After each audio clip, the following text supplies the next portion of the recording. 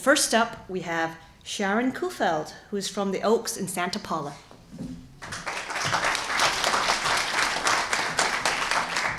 Hi. Um, wow. My dad was a Marine and he taught me always to be prepared. And when I was in the military, I was trained to always be prepared.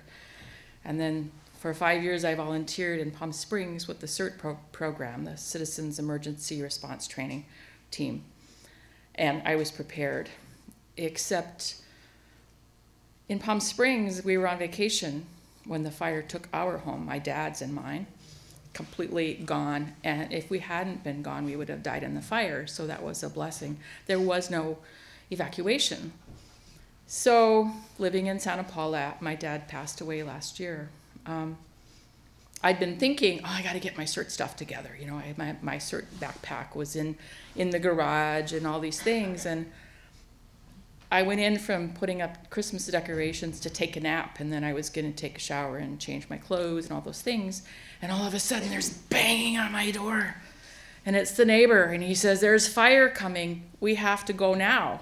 And I'm like, I'd heard the helicopters and I'd heard the sirens, but I hadn't really connected it. And he was like, We have to go now. And so, like, okay. So I get up and I throw on the dirty sweats that I'd been wearing for two days working in the yard, and I grabbed the teddy bear that the hospice people made for me out of my dad's favorite shirt. And I grabbed the little box, the little red box that had all of the only things I had left from my life from the other fire. And I grabbed my passport and my purse and I went to the car. And I was going to go knock on the neighbor's, the other neighbor's door, because they have an invalid husband. And my roommate called from the hospital. She's a labor and delivery nurse at the hospital up the hill. And she said, Leave now. We're talking about evacuating the hospital. Leave now. So I was like, Okay. So I grabbed my computer on my way out, my laptop, and I grabbed something off the back of my door. I didn't know what it was. And I grabbed her computer from the house, locked the doors, and got in my car, and I drove away. When I got to the freeway, there was this orange glow, and I could see some flames, you know, up 150. And so I started heading towards Ventura, called my friend, and said, There's a fire. I'm evacuating to your house. I hope you're home. And um, I stopped at uh, Peck Road, no, Briggs Road, and I looked, and the fire was like 10 times bigger, and I could see the flames coming. So I make it to Ventura, and um, I get to her house, and I look at my things, and I realize I didn't bring any clothes. but I, I had the most important things to me, which you know, that teddy bear and my little red box and my passport and my purse. So I also, what I'd grabbed in my arm was my nightgown because it was on the back of my door. So I get to her house and I said, "Oh, Cindy, I didn't, I'm sorry, I smell really bad. I, I, you know." She said, "That's okay." I put on my nightgown and she took all my clothes, my socks, everything, every stitch, and put it in the washing machine. So we're kind of hanging out a little bit. She made me some tea, and we're figuring out who's going to sleep where. And I'm smelling smoke, and I'm smelling more smoke because she lives off of Seward in Ventura. And we're settling out where to go, and then the, the power goes out, right? So all my clothes are in the washing machine with soap. And we're just settling down, and I said, I'm going to sleep in our son's room. And it's like, okay. And I just pull down the covers on the bed, and there's this banging on the door. The fire's at the end of the street. We have to go now. And I'm like, okay.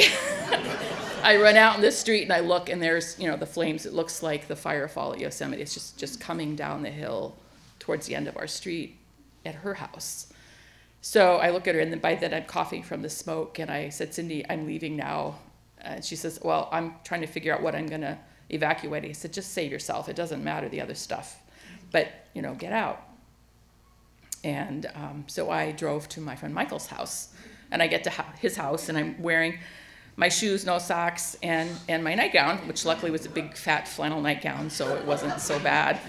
And um, I get to his house, and he's a bachelor and he lives in a senior thing and he doesn't even have a couch.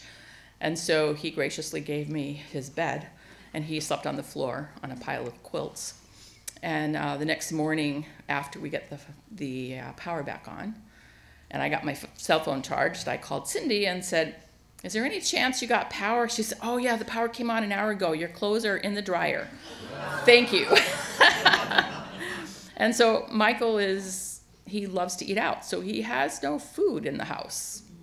Now, I grew up, you know, with uh, military dad saying be prepared and, all of the be prepared stuff. So when we were snowed in in Atlanta five years ago, or I guess, yeah, maybe eight years ago now, um, my housemate and I, we had plenty of food for 10 days. Right? We maybe not the first things we would choose to eat, but we had food. I look at Michael's refrigerator. I'm like, oh no, I hope Cindy can make breakfast. So I go over to Cindy's house and we have breakfast, and I get my clothes, and the smoke is so bad. I decided to head to the uh, church in Ventura, the Unitarian Universalist Church. So I went there, and people were coming in, and they were calling people, and they were people offered rooms. So I was um, invited to uh, the home of one of our uh, church members, and I was so grateful. As somebody said, all my stuff that I have is in my car, and um, I tend, since the fire, to keep a lot of stuff in my car anyway. Since that other fire, and just what I had left was what I had in my car and what I had in my suitcase when I was traveling. And so I hadn't realized why I keep so much stuff in my car until probably this moment. It's like, oh yeah, from that other fire, what I had left was in my car. So I was very grateful because these people live in a gated community and I didn't have to worry about the things sitting in my car. And I was evacuated for 12 days, and it was two more days after that before I could go home and sleep in my room. And we're still cleaning up smoke residue um, very fortunate because our, our home is safe. I did find burned out cinders in the yard, and and um, you know we're all dealing with the air, and um, I have degenerative disc disease, and I'm not supposed to lift things ever, and so of course evacuating and then coming back and then cleaning, and I found myself in the emergency room on uh, uh, the night before New Year's Eve, and um, I'm getting better, but I have to say, this was my third fire. And the first one, I lost all my hair. And the second one, I lost everything that I owned, just about.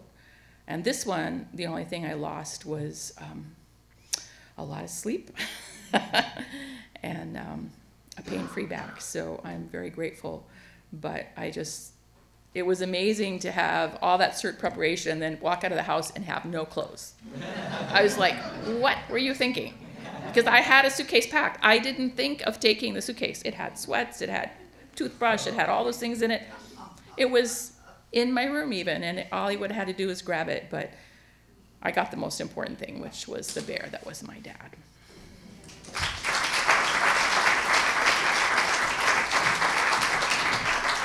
Thank you so much, Sharon. Thank you.